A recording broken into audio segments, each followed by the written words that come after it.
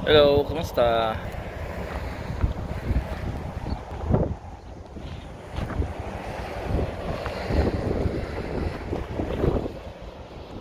Ah, nandito ako ngayon sa may ano, sa may Kitchener, Ontario, Canada. Naghihintay ng local load lang kasi gusto ko nang umuwi, umuwi mamaya kasi pag tumanggap ako na load papuntang US baka hindi na ako makabalik. Baka lunis pa ako makabalik. Kasi Victoria Day sa Monday holiday. Tapos biyernes ngayon. Dating ako bukas ng Sabado sa sa US Sabado linggo wala na mga opisina. Mahirapan ako. Or babalik ko na empty ko lang naman. Kaya sabi ko sa opisina local load na lang. Meron na wala yeah, pasensya. Naka ano na rin ako naka limang biyahe ako ngayon. Okay na rin yung kita. Makakabayad na rin ng bills. Ng mga bills. Kaya hintay-hintay na ako ng hanggang alas 2 o alas 3 pag wala uwi na ako. Alauna na ng hapon ngayon. Friday dito ngayon sana ito yung lugar ko sa may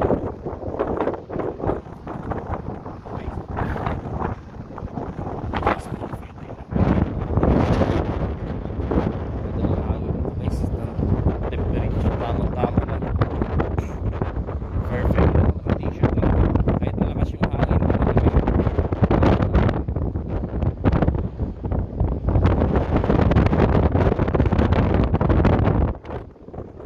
ma maulap kahit hindi ka mainit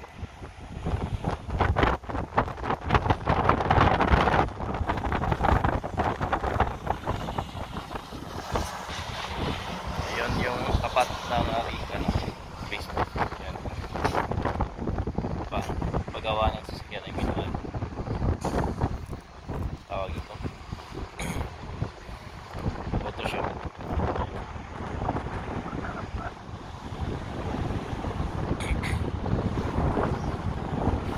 Binenta pala itong lugar na to. Sold na.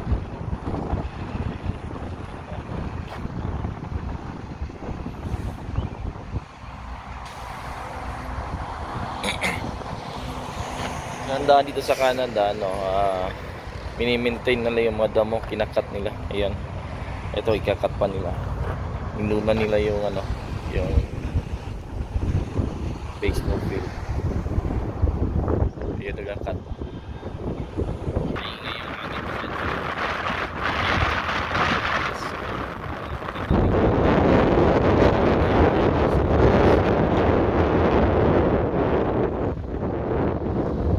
Ah, ito yung susunod.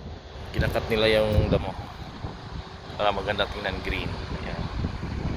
Yan, tsaka ano rin, para hindi mainit masyado. Kasi pag puro lupa lang ganito, magre-recruit yung init. So, ginagawa na, lagyan nila ng glass yan para hindi ganong mainit yung lupa.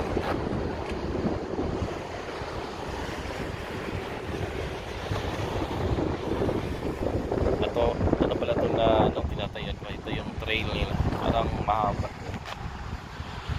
Jogging ka, pwede dito. Pwede rin dyan sa tabing kalsada kasi may pedestrian lane. Yung daanan ng tao sa sidewalk. Pwede ka mag-jogging dyan. Dito, pwede rin bisikleta. Madalas na nakikita ko dito na ano, area, nagbe-bisikleta. Ayan. Ayan, pupunta doon. Malayo yata ito eh. Makaabot doon sa kawan. Si buddy ko. Pag wala kaming load ngayon, hawi na kami. Papahinga na kami. Babawi na lang next week.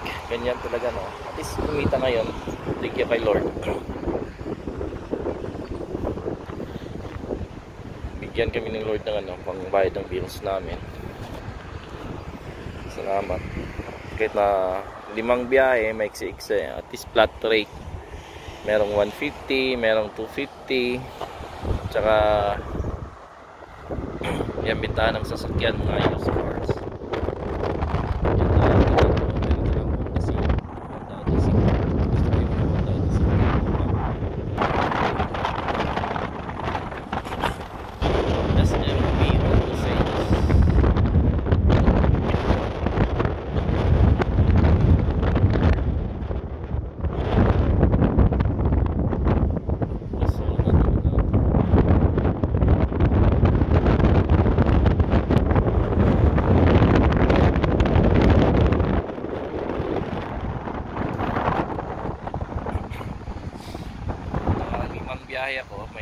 isang 150 flat tray kasi malapit lang 35 miles so meron 180 miles uh, 250 yun. Pag, ganun, pag 180 to 200 flat tray 250 dollars and 150 150 dollars. At meron galing pumunta nagkatid ako nung Martes ng ah Merkules ng hapon. Napid ko sa St. Clair, Michigan. Uh, almost 300 miles tsaka uh, galing sa Michigan, St. Clair pumunta ako ng ano may pinick up ako sa Taylor Michigan. Tapos sinatid ko sa Valcourt, Quebec Valcourt, Quebec. Yung may video ko na nasa mountainous na maganda yung view. Tsaka galing doon sa Valcourt, Quebec may kinuha din ako doon sa may Quebec area. Kalimutan ko yung lugar Ta, papunta dito sa Kitchener mga may get 400 miles. 481 miles. Yung galing Ohio I mean Michigan mga almost 700 yata yun miles. Eh okay na yan kasi nagsimula ako nung Tuesday ng hapon kasi pinagawa ko to nag, ano, nag oil change ako ng van. Engine oil change and transmission maintenance regular maintenance. Nag change ako ng ano, transmission oil. Kasi schedule na. Naka ano na kasi ako dito eh. Naka 170 kilometers. Takbo nitong van ko so ano po lang to one year and nung April oh, nung March 19 isang taon na siya. Ano ngayon? May. March, April, May. So 1 year and 2 months old. Yung ban ko.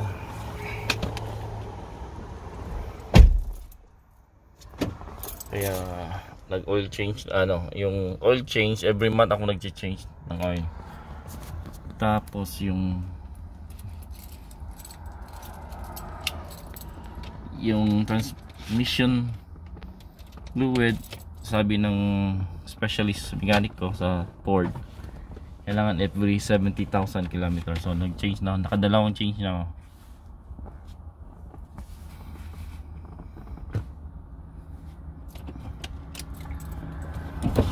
nakadalawang oil change na ako.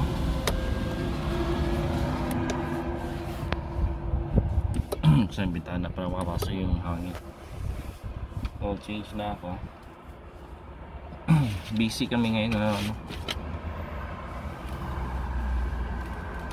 Siguro kung hindi ako kung nag-request ng local load may load na ako papunta na ako ng US ngayon. Kailangan ko kasing umuwi kasi nasira yung centralized air condition namin. Kailangan ng palitan kasi matanda na.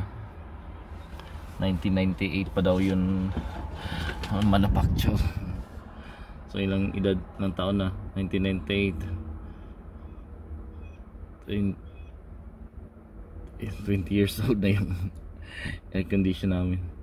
Tsaka yung furnish namin yung heater namin papalitan na rin para ano bago na. Kasi yung heater namin may edad na rin. Kung mas maiedad yung heater namin kaysa air condition. Kailangan palitan na kasi kinakalawan na hindi na safe kasi gas yun. It's time to change uh, replace na. Kailangan kong umuwi kasi pupunta, pupunta kami sa Home Depot bukas siguro o sa linggo. Para mag-apply ng loan utang kami ng furnish heat, cool and heat. Aircon and heater. May promo ngayon sa Lowe's yata yun o Home Depot. Kasi pag kumuha kami sa mga mga company na Reliance or DNK ang mahal-mahal. Kung utang kami sa kanila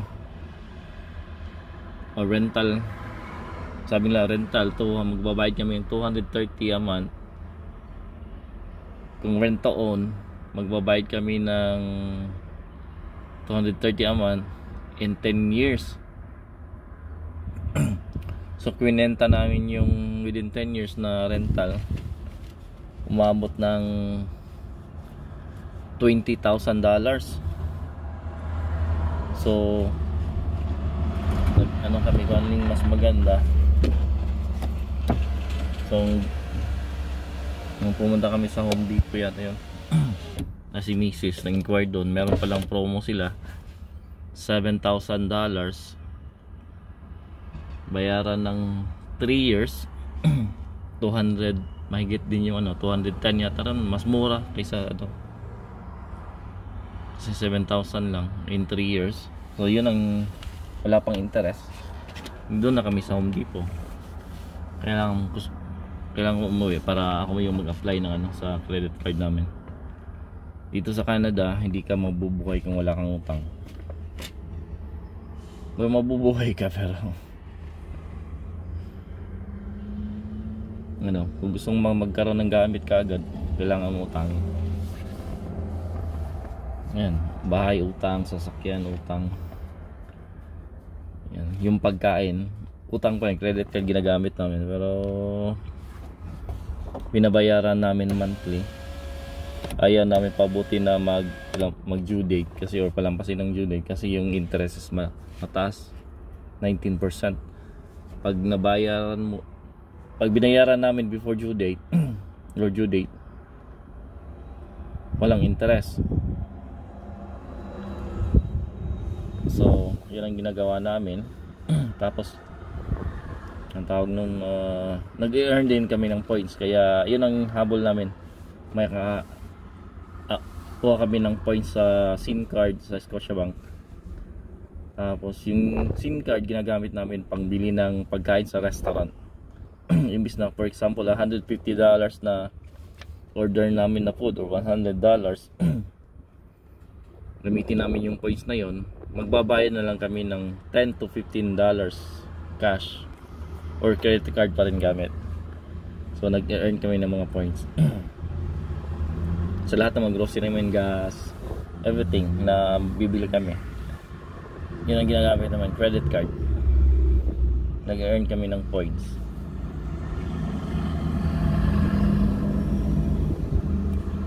Yun, yun lang. Okay guys. Ah, nandito na yung magkakat ng grass magsisimula na yata siya sa nakabilang side. Yung matataas. Maintain by government yata to. Okay guys. See you. Stay safe. God bless. Happy weekend